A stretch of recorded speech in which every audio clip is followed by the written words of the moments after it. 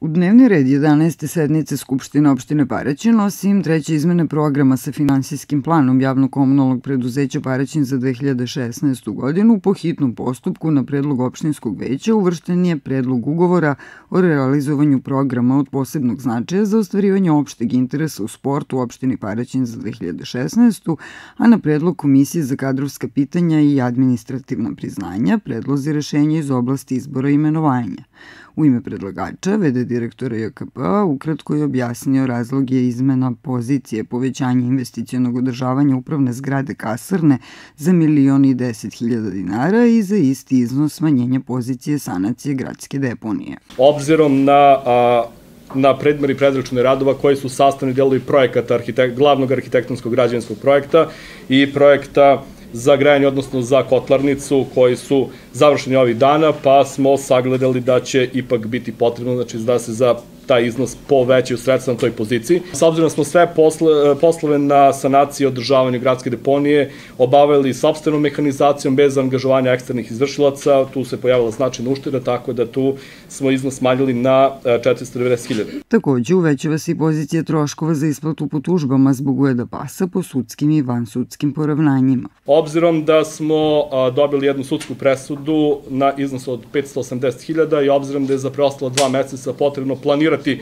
neki iznos za ne daj Bože, tako da se tu povećava znači za 800.000 dinara, a sa druge strane na poziciji potrošnice materijal smanjuje se znači za 400.000 dinara sa 4,5 miliona na 4 miliona i 100.000, obzirom da se na ovoj poziciji značajno su smanjeni troškovi koji su rezultat javnih nabavke, odnosno zaključenja ugovora sa najpovoljnijim ponuđačima, tako da se tu javila značajna ušteda.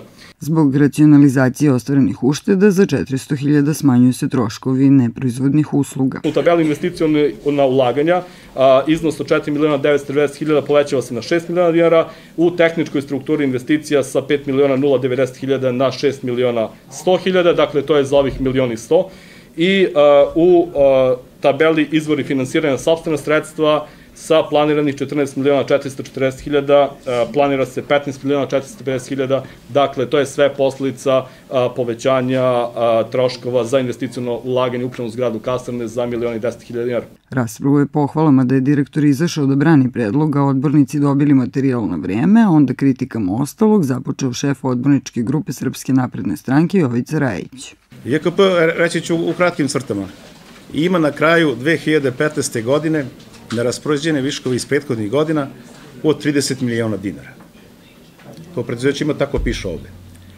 Na kraju 2016. u planu piše da će da ima 58 miliona dinara neraspoređene dobiti.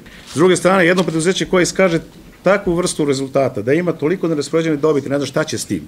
U isto vreme ima 100 miliona ili 80 miliona nenaplaćenih potraživanja, a da ima finanski plan koji je neverovatan. I ovo je neka lepa želja, vaš plan.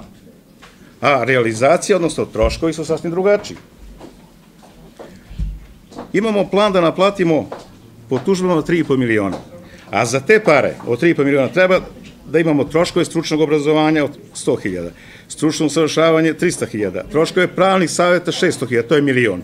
Pa onda advokatske usluge 3,5 miliona, pa onda troškovi konsultinga i menadžmenta iz biznis, iz biznis, za izradu biznis planova milion dinara, pa onda imamo takse građana, tu imamo 2 miliona da platimo, pa administrativne sudske takse 2, znači jedno 8 miliona treba da platimo da bi naplatili 3,5.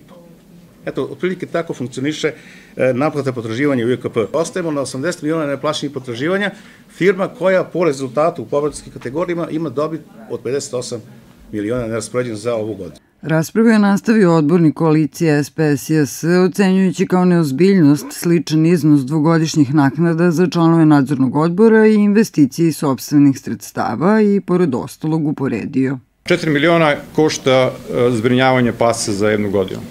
Praktično koliko se para utroši na zbrinjavanje ili ako sam lepo razumeo to, je, to su troškovi te e, službe, e, toliko se para skoro ili nešto manje da za tužbe po ujedu pasa. Znači, ili ta služba ne funkcioniše, ili treba jednostavno onda da te pare prosmerimo na tužbe, pa da onda čekamo kad koga ujede pas, neka tuži i onda nam ne treba ta služba koja se bavi uništavanjem i, i skupljenjem pasa lutovac.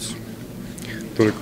Koja uzbud, uspud budi rečeno skloni 700 pasa sa ulica za godinu dana. Baš vam hvala za taj podatak. da se godišnje u Paraćinu skupi 700 pasa lutalica. Obzirom da godina ima 365 dana, To znači nešto malo manje od dva psa dnevno. Onda je moje odborničko pitanje koliko je norma čas e, šintera ili osobe koja hvata pse.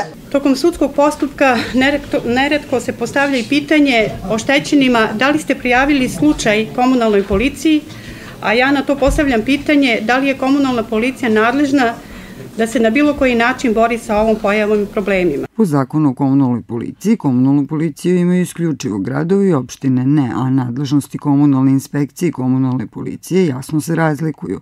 Tražići humano rešenje problema, odbornica Mirčić Mladenović postavila je pitanje azila u Paraćinu, pohvalila uštede kod sanacije gradske deponije i dodala. Mislim da se treba pozabaviti pitanjem raščišćavanja i rešavanja novih deponija, a ne samo uređivanja i održavanja postojeće deponije. Nakon ocene da razlozi rebalansa nisu dovoljno kvalitetni, JKP je dobilo saglasnost Skupštine sa 33 glasa za. 12 odbornika glasalo je protiv.